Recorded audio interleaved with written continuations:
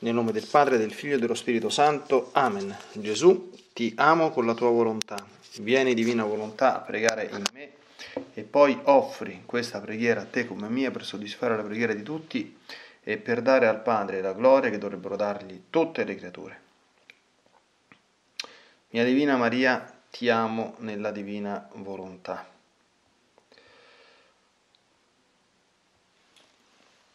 Regina Immacolata, Celeste Madre mia, vengo sulle tue ginocchia materne per abbandonarmi nelle tue braccia, per chiederti con, i sospiri più ardenti che mi ammetta a vivere nel regno della divina volontà. Mamma Santa, tu che sei la regina di questo regno, ammettimi a vivere in esso affinché non sia più deserto, ma popolato dai figli tuoi.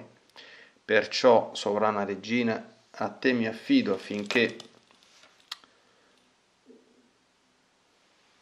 non sia più deserto affinché guidi i miei passi nel regno del volere divino e stretto alla tua mano materna guiderai tutto l'essere mio perché faccia vita perenne nella divina volontà. Tu mi farai da mamma e come mamma mia ti faccio la consegna della mia volontà affinché me la scambi con la divina volontà e così possa restare sicuro di non uscire dal regno suo. Perciò ti prego che mi illumini attraverso questa meditazione per farmi comprendere sempre più e sempre meglio che cosa significa volontà di Dio e come vivere in essa. Ave Maria, piena di grazia, il Signore è con te. Tu sei benedetta fra le donne e benedetto è il frutto del tuo seno Gesù. Santa Maria, Madre di Dio, prega per noi peccatori, adesso e nell'ora della nostra morte. Amen.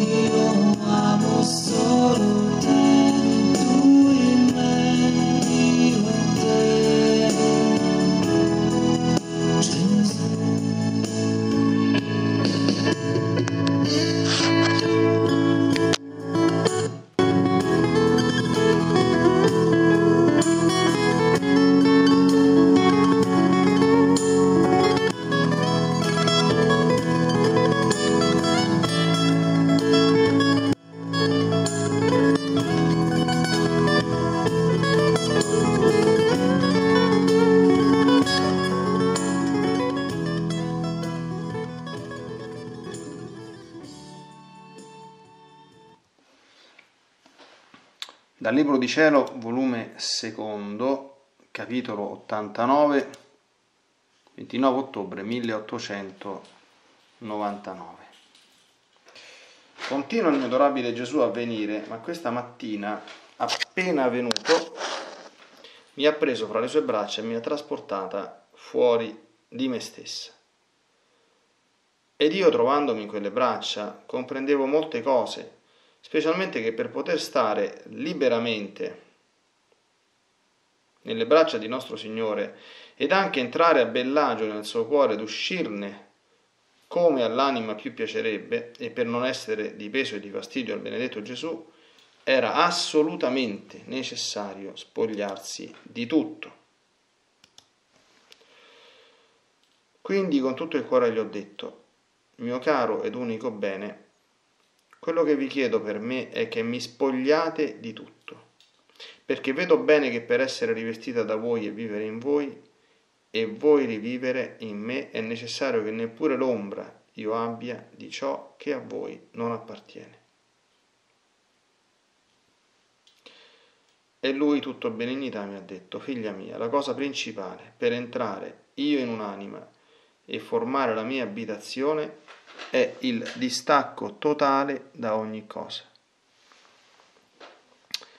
Senza di questo non solo non posso io dimorarvi, ma neppure nessuna virtù può prendere abitazione nell'anima.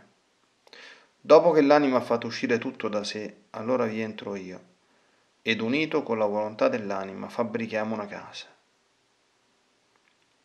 Le fondamenta di questa si basano sull'umiltà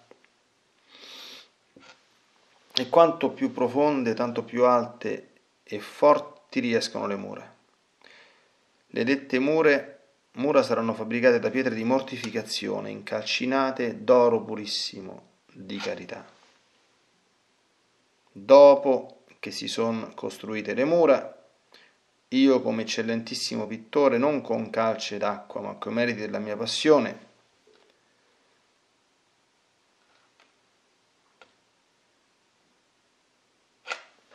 indicata la calce e coi colori del mio sangue indicata l'acqua, le intonaco e vi formo le più eccellentissime pitture. E questo servirà per ben munirla dalle piogge, dalle nevi e da qualunque scossa. Appresso ne vengono le porte, queste per far sì che fossero solide come il legno e non soggette al tallo. È necessario il silenzio che forma la morte dei sensi esteriori. Per custodire questa casa è necessario un guardiano che vigili dappertutto entro e fuori e questo è il timore santo di Dio, che la guarda da qualunque inconveniente, vento ed altro che potrà sovrastarla. Questo timore sarà la salvaguardia di questa casa, che farà operare non con timore della pena, ma per timore d'offendere Dio, che è il padrone di questa casa. Questo timore santo non deve fare altro che fare tutto per piacere a Dio senza nessun'altra intenzione. In seguito si deve ornare questa casa ed empirla di tesori. Questi tesori non devono altro essere che desideri santi e lacrime. Questi erano i tesori dell'Antico Testamento e in essi gli uomini trovarono la loro salvezza, nell'adempimento dei loro voti, la loro consolazione, la fortezza nelle sofferenze, insomma tutta la loro fortuna la, ripote- la riponevano nel, des- nel desiderio del futuro Redentore ed in questo desiderio operavano da atleti. L'anima senza desiderio opera quasi da morta, anche le stesse virtù tutto è noia, fastidio, rancore, nessuna cosa le piace, cammina quasi strisciando per la via del bene. Tutto all'opposto l'anima che desidera. Nessuna cosa le dà peso, tutto è allegria, vola, nelle stesse pene trova i suoi gusti.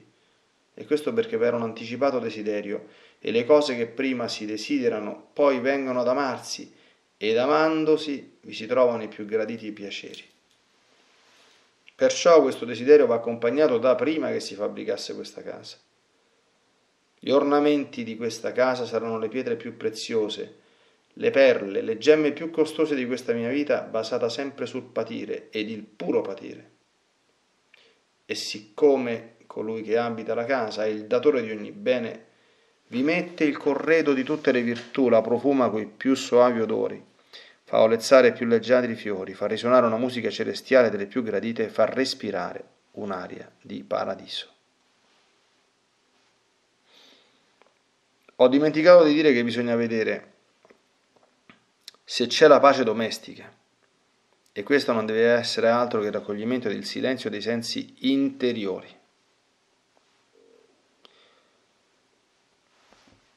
Dopo ciò, io continuavo a stare nelle braccia di nostro Signore, mi trovavo tutta spogliata ed in questo nost- mentre vedevo il confessore presente. Gesù mi ha detto, ma mi, pore- ma mi parea che voleva fare uno scherzo per vedere che cosa io dicessi.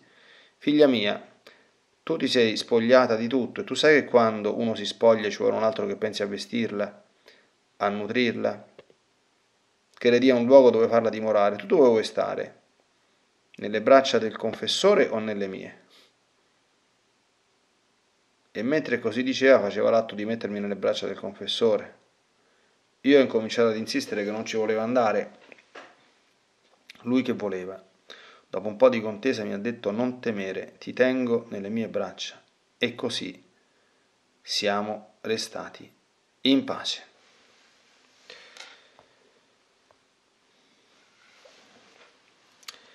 Eh, molte sarebbero le considerazioni da fare su questo bellissimo capitolo, veramente straordinario.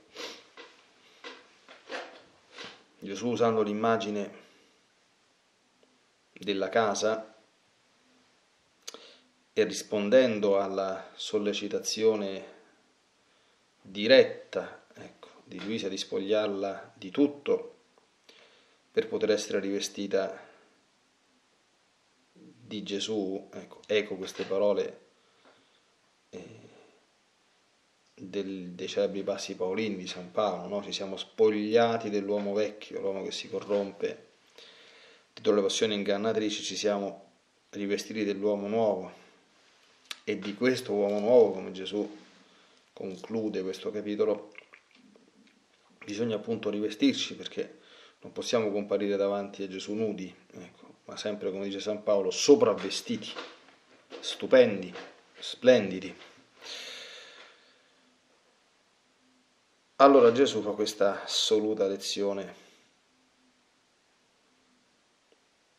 spettacolare. Allora, quando facciamo una casa noi dobbiamo anzitutto, come dire, scavare un luogo, prima di, prima di gettare le fondamenta si fanno gli scavi, no?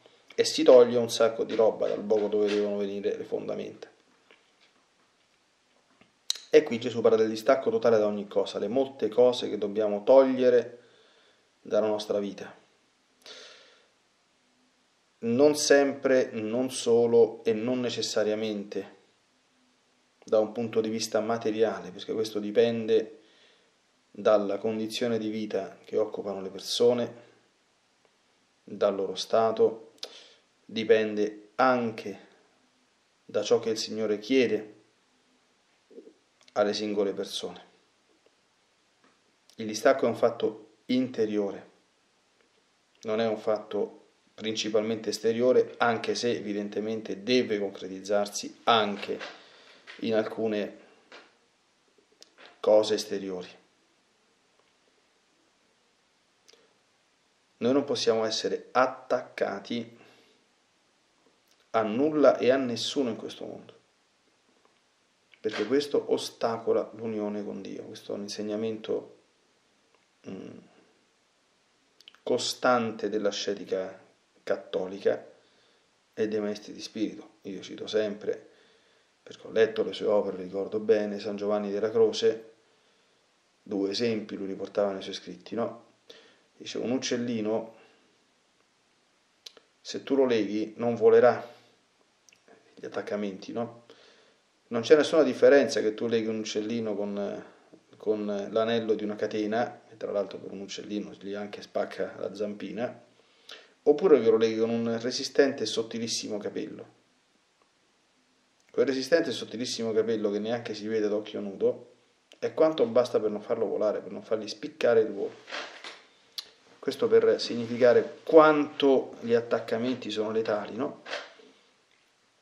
Racconta poi un episodio che, me, che mi rimase estremamente impresso e che fa molto comprendere come la nostra natura umana ha proprio nel DNA questo spirito di attaccarsi a qualcosa.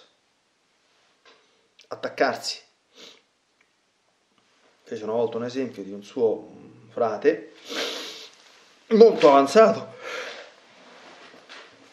nella perfezione, ma che non riusciva ancora a raggiungere l'unione con Dio. Questo era poverissimo. Faceva vita mortificata, faceva vita di profonda orazione, faceva vita di profonda penitenza.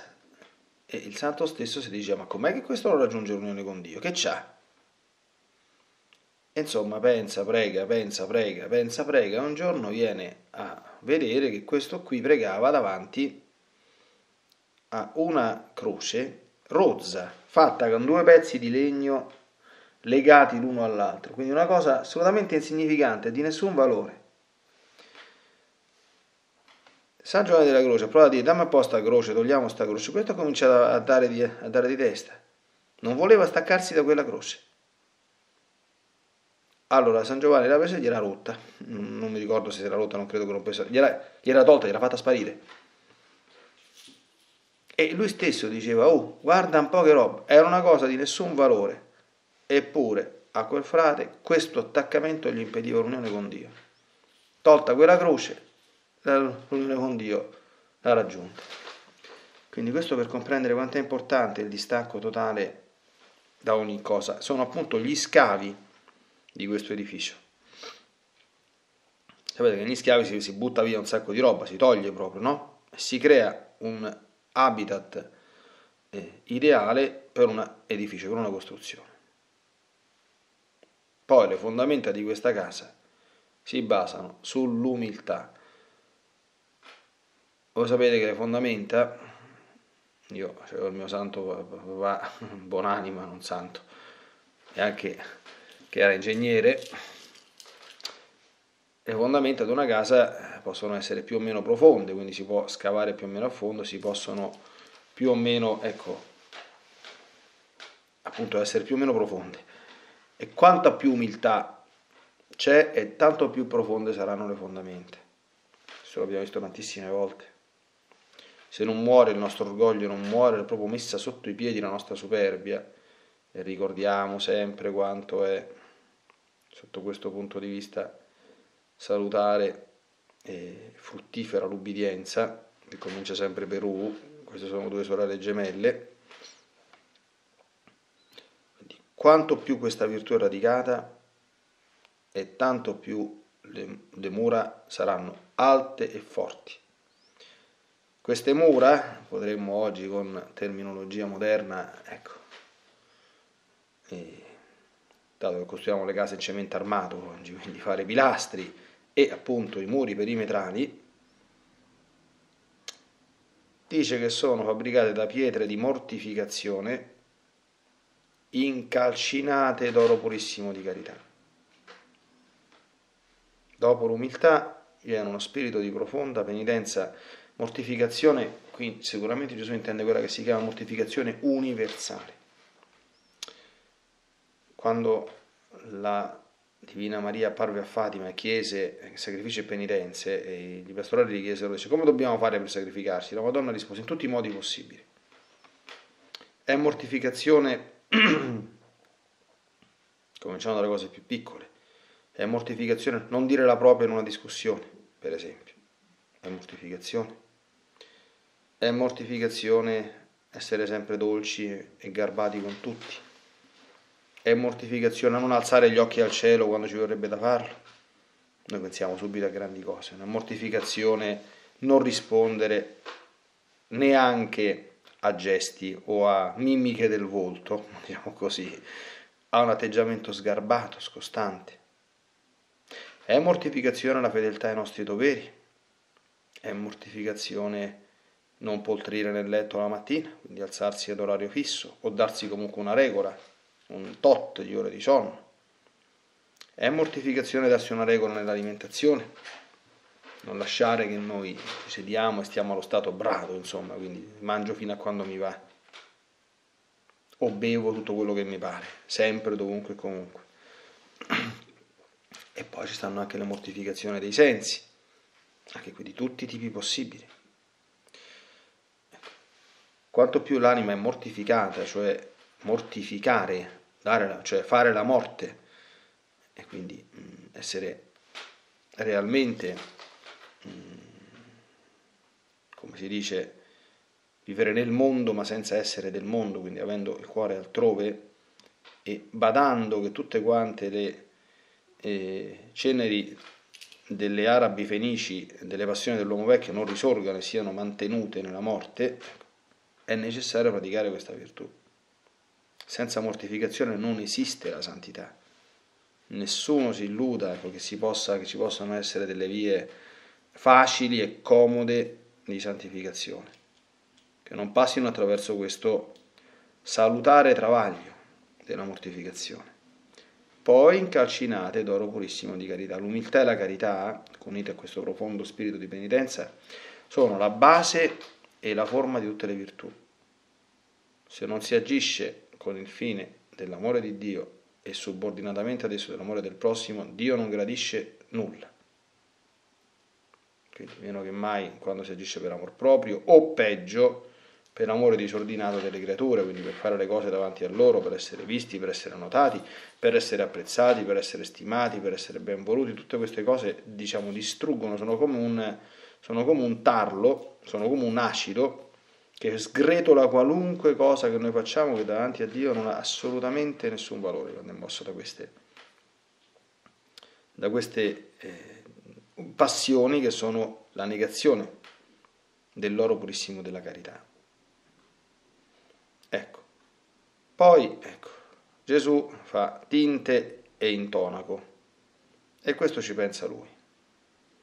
Le tinte e l'intonaco sono di colore rosso perché sono eh, fatte dal suo santissimo sangue. Questa è un'operazione che fa lui come eccellentissimo pittore, quindi la tinta della casa, quindi ciò che rende bello il nostro sforzo è, è il suo sangue. E questo serve non soltanto alla bellezza esteriore, ma anche ad essere muniti da piogge, da neve da qualunque scossa. Il sangue di Gesù ci purifica da ogni colpa ed è il nostro rifugio. Ecco, fatto questo bisogna metterci le porte. E Gesù dice che le porte sono il silenzio, il silenzio. Qui parla di silenzio anche esteriore, non soltanto silenzio interiore. Cioè imparare, è chiaro che non possiamo vivere come monaci certosini che, che passano la giornata in silenzio e non parlano con nessuno, no? È silenzio parlare santamente, essere capaci di tacere quando c'è da tacere, avere facile facilità a raccogliersi interiormente, a vivere davanti al Signore, eccetera, no? certamente osservando dei momenti di silenzio rigorosi, ecco, anche nella, nella nostra vita, no? quali sono soprattutto i tempi riservati alla preghiera o al nostro stare in chiesa, insomma, dove il silenzio deve essere assoluto. Ecco, il guardiano di questa casa, il custode, è il santo timore di Dio. Gesù spiega cosa si intende per santo timore di Dio. Non è la paura di Dio. Noi non agiamo mai mossi da paura, mai. E di Dio non bisogna avere paura. Di Dio deve, deve avere paura chi vive lontano da Lui. D'accordo? Dice Gesù che Lui viene come un ladro per quelli che stanno bivaccando e gozzovigliando, ma per gli altri viene come un amico, non viene come un ladro. Quindi questo timore santo di Dio e questa è una disposizione del cuore, è l'intenzione di fare tutto per piacere a Lui solo. Ah, questo dobbiamo chiedercelo sempre. Eh? Per chi sto facendo questa cosa? Per chi? Non soltanto perché, ma per chi? Per piacere a chi?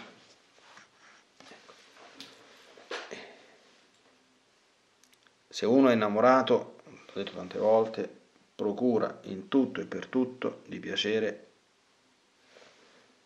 al proprio innamorato. E non gli importa di quello che pensano gli altri. Importa semplicemente di fare contento in tutto lui.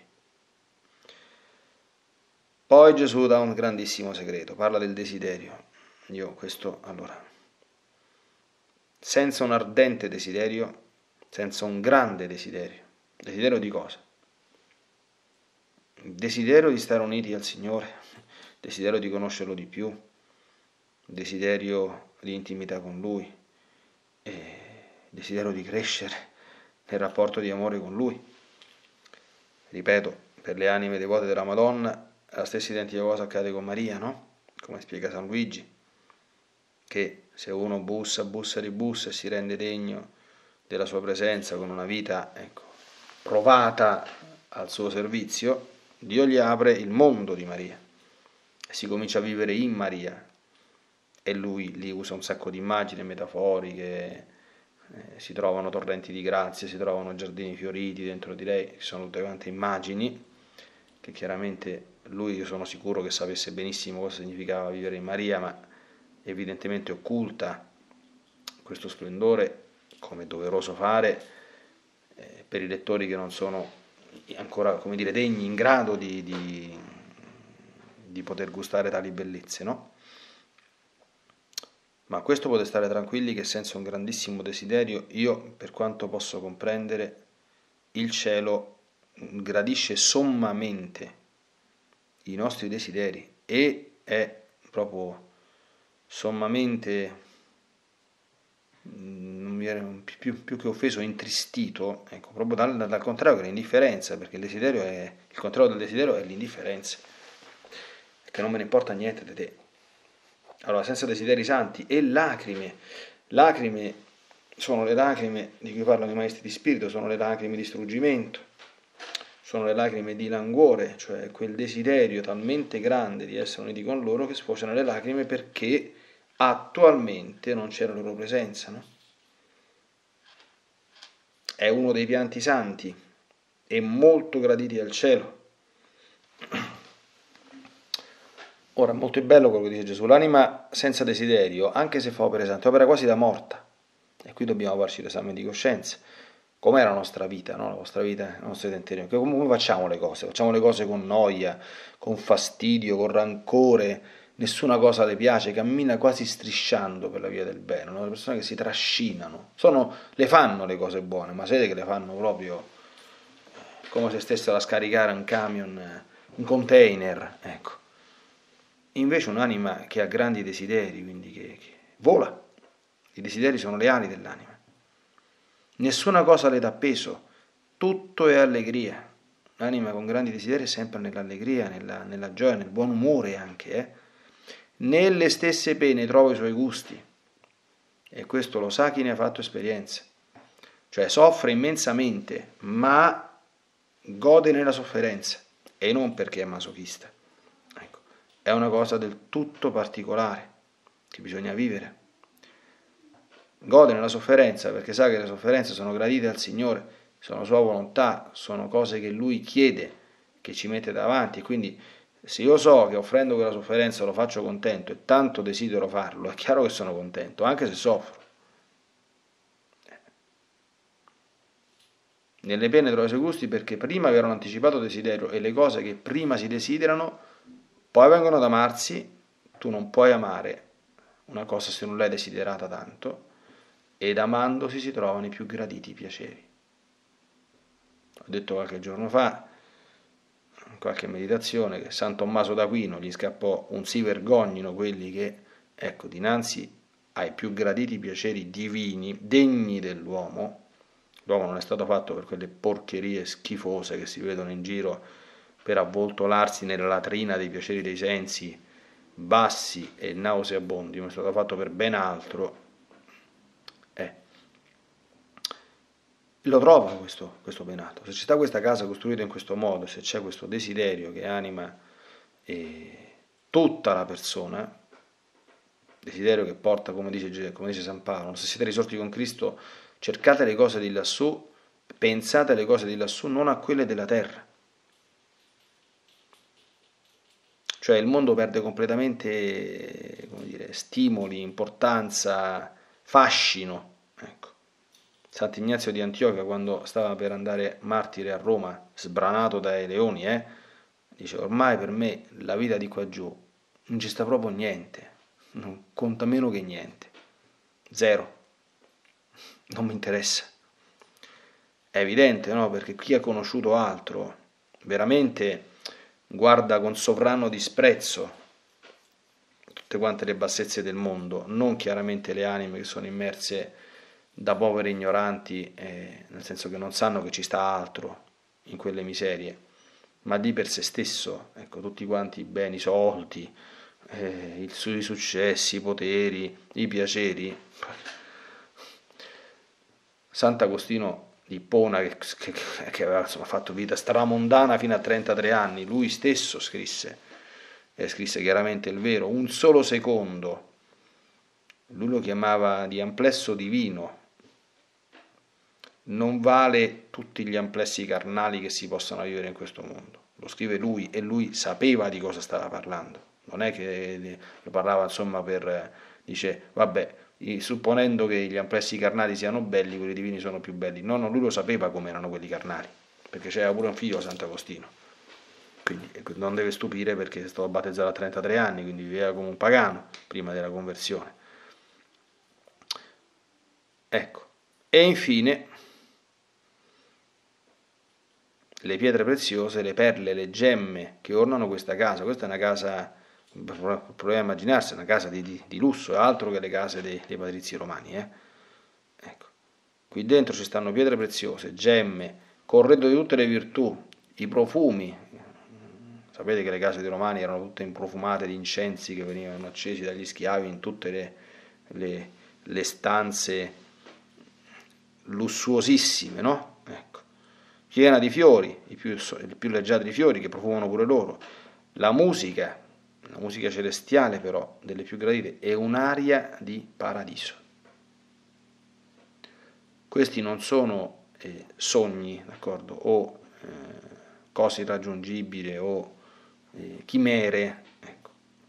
Questa è realtà per chiunque voglia davvero vivere unito al Signore, certamente utilizzando i mezzi. Ecco, abbiamo sentito come si costruisce la casa. Io non posso fantasticare, mettermi a fare un bel sogno di stare in questa casa o illudermi addirittura di, viverci, senza chiaramente aver cooperato con la grazia santificante, con la chiamata che Gesù offre a tutti. Questa casa sarebbe l'abitazione di ogni essere umano. Sappiamo benissimo che nel regno della divina volontà questo si vive cioè si vive da grandissimi signori. Adamo era un grandissimo signore, aveva una casa di questo genere. Purtroppo l'ha persa. Infine, Gesù mette questa chicca che è la pace domestica, raccoglimento e silenzio dei sensi interiori, quindi non basta il silenzio esteriore che va comunque custodito, ma ci vuole anche un profondo spirito di raccoglimento e il silenzio dei sensi interiori, quindi la capacità, per esempio quando si prega, di mettere a tacere le agitazioni ecco, anche dell'anima, quindi di, di, fare il possibile, non sempre dipende da noi, per entrare in contatto con, con Gesù. No? Gesù che poi conclude con questo suo gioco, perché a quanto ci racconta Luisa, dal cielo giocano ogni tanto, non poco, fanno giochi d'amore. Vedete che dice, eh, Gesù mi ha detto, ma mi pareva che voleva fare uno scherzo per vedere cosa io dicessi, no? Dice, ah brava, mo ti sei spogliata di tutto, e mo c'è bisogno di qualcuno che ti veste, che ti nutra, e mo ti mettono le braccia del confessore. ecco, qui vedete come cioè, è impressionante, no? Gesù che voleva voleva, come dire, voleva suscitare evidentemente eh, la risposta di Luisa non ci voglio andare, voglio stare con te. E in effetti, infatti poi non temere ti tengono le mie braccia. Capite? Cioè, io rimango sempre molto sconvolto quando leggo queste cose, perché sembra, veramente sembra come, eh, so, come due innamorati umani, no? Cioè, ecco, io ho conosciuto insomma l'amore umano, no? E si fanno questi giochi tra, tra fidanzatini, uno li provoca, provoca per, per, per, per, sentirsi desiderato, per sentirsi amato. E quando due persone si, si, si innamorano capiscono subito il gioco e stanno al gioco, no? Ecco, questo è quello che Gesù fa con le anime che egli ama. Io ho mm, sempre pensato, dico, certamente esistono delle anime un po' particolari, no? Però nel regno della divina volontà noi impariamo una cosa, non ci sono preclusioni a priori per nessuno. Cioè chi non dovesse giungere a vivere in questa casa non potrà dire davanti a Dio, ah sì, ma tanto questa non, non era roba per me, io ero destinato ad altro. No, no, no, no, questa è roba per tutti. Bisogna vedere a chi gli interessa abitare in una siffatta casa, ecco che certamente è stupenda, eh, ma la sua edificazione, come abbiamo visto, non è cosa da poco, sia scavare le fondamenta, sia gettare le fondamenta, sia alzare le mura, che sono le operazioni che eh, vanno fatte certamente prevenute e coadiuvate dalla grazia, ma vanno fatte da noi. Ecco. Così come la custodia del santo timore di Dio, no? E, e il fare tutte le cose per piacere a Lui solo. la mortificazione, la carità, l'umiltà, il distacco, abbiamo sentito, no? Che voglia il Signore farci venire un grande desiderio, quantomeno, come dice il Salmo 83, beato chi abita la tua casa, sempre canta le tue lodi, e beato chi trova in te la sua forza e decide nel suo cuore il santo viaggio.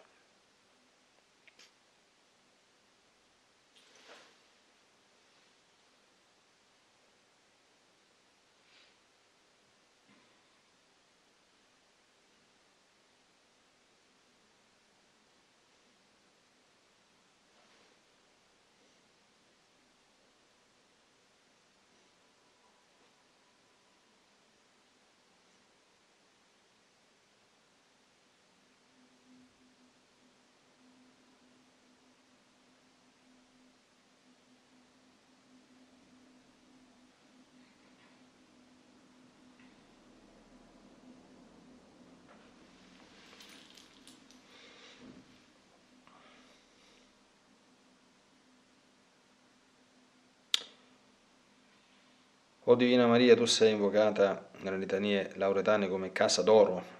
Ecco, tu,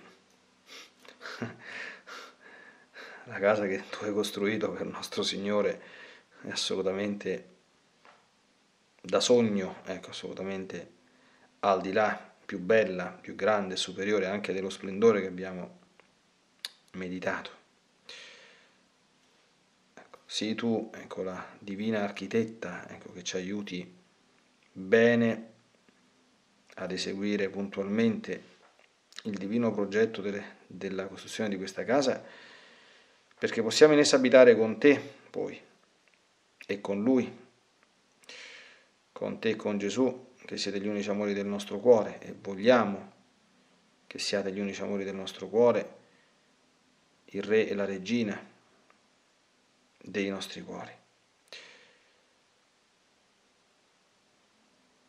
Rendici sempre persuasi, convinti che non si tratta di cose impossibili, nessuno pensi che queste siano cose impossibili a farsi, ma alla portata di cuori che sinceramente si aprono all'amore di Dio e sono animati dai grandi desideri, quei grandi desideri che Dio stesso suscita, ma che noi dobbiamo accogliere, coltivare senza timore e dilatare con tutto l'apporto anche del nostro povero cuore, certamente piccolo e segnato da tante miserie, ma creato da Dio ecco, per ricevere il suo amore e per dare a Lui il contraccambio del nostro, come profondamente desideriamo e come sul tuo esempio e per la tua intercessione ti chiediamo presto di imparare a fare nella divina volontà, nel nome del Padre, del Figlio e dello Spirito Santo. Amen. Ti benedico per aiutarti. Ti benedico per difenderti, ti benedico per perdonarti, ti benedico per liberarti da ogni male, ti benedico per consolarti, ti benedico per farti santo. Ti benedico dunque nella divina volontà, nel nome del Padre, del Figlio e dello Spirito Santo. Amen.